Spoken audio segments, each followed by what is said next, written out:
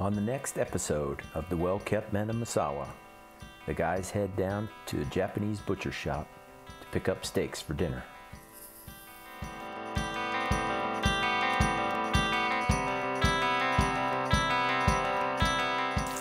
Three different chefs, three different recipes, three outstanding steaks.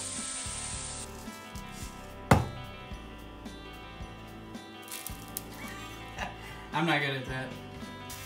Join us for the next episode of Well Kept Men of Misawa.